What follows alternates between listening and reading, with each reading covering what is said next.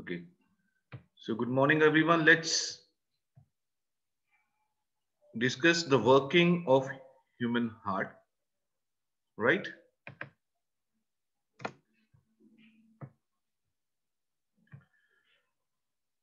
So in human heart, we have already discussed about the components, the working, how the blood flows. So now one by one, we are discussing that how it move. So first of all, when the blood passes through the capillaries of the lungs, then oxygen from air enters the blood, right? When the blood, first of all, passes through the capillaries of the lungs, we know the capillaries, the vessels joining arteries and veins. Then the now the blood is in now rich, oxygen rich and is called oxygenated blood. Then we can see that say that blood is oxygenated, which is present in the lungs. Right? Now after this, the working start. So we know that our heart has been four chambers. That is left atrium, right atrium, left ventricle, right ventricle. So first of all, the pulmonary vein. The pulmonary vein brings the oxygenated blood from the lungs into the left atrium. So what we will write here is the lungs. We can say oxygenated blood from the lungs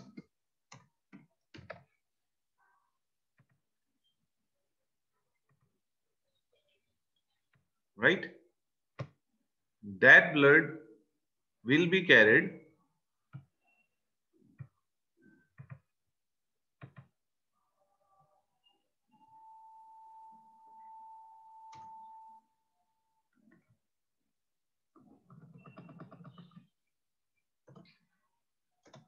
Now this blood will be carried. Who will carry this? That will be carried by pulmonary vein. That we have to remember. That is pulmonary vein. Right? Now where it will go? It will go to the left atrium it will go to the left atrium.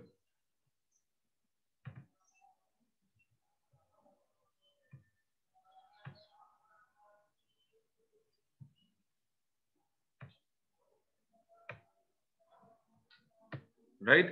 Now the oxygenated blood from the lungs carried by the pulmonary vein to the left atrium. Now what will happen? Left atrium will start contracting so we can mention here, I have used the red color because it's oxygenated blood. So now left atrium contracts, right? Left atrium contracts. Then the blood will pass to the left ventricle, right? The blood will pass to the left ventricle. Like this. Fine. Now, when the left ventricle will start contracting, when the oxygenated blood will reach left ventricle, then it will start contracting, right? Then what will happen? It will pump the oxygenated blood into the main artery called aorta. Same way, it will also contracts left ventricle contracts then the blood will pass to the main artery that is aorta now aorta branches into many arteries which supply oxygenated blood to the all parts of the body all, all organs of the blood now when the oxygenated blood from arteries passes through the capillaries of the body organs then it gives food and oxygen to the body cells right? At the same time, carbon dioxide produced as a waste product in the body cells during respiration enter the blood through the capillaries. While they are delivering the oxygenated blood to the cell organs. Now the waste product that is CO2 will also be taken up by these capillaries. Now what will happen? The deoxygenated blood will be collected from the body organs,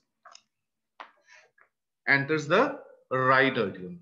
Now aorta is supplying the, we can mention here along with the aorta, here only it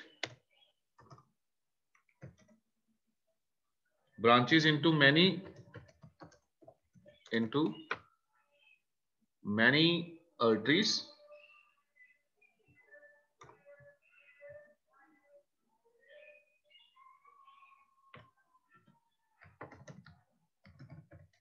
Right?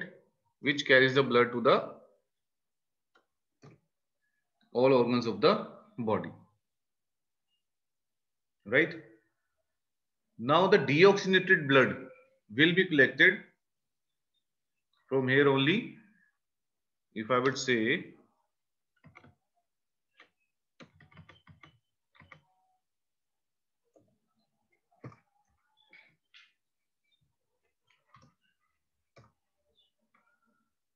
This is the journey of oxygenated blood.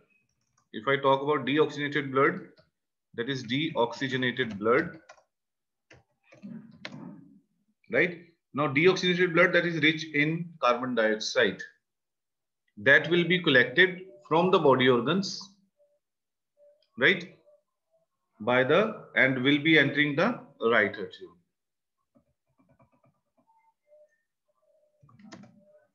Entering right artery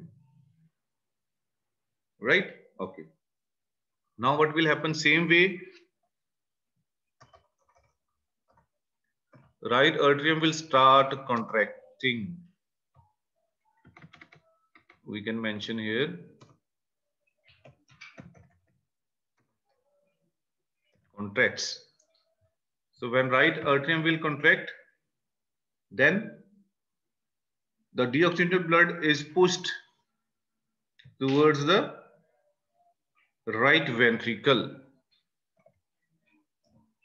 Right ventricle right now it passes to the right ventricle now what will happen right ventricle will also contract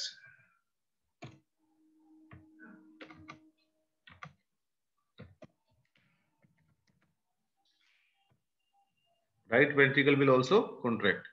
Then the deoxygenated blood will pump into the lungs.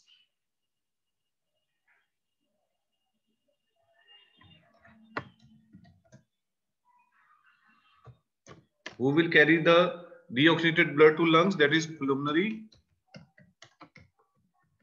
artery.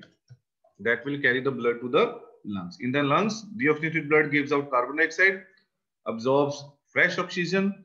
So the blood becomes oxygenated again and then the same process will repeat.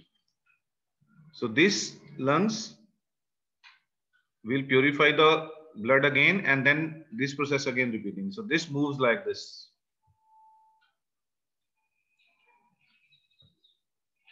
Clear? So if I if I can mention this is first step.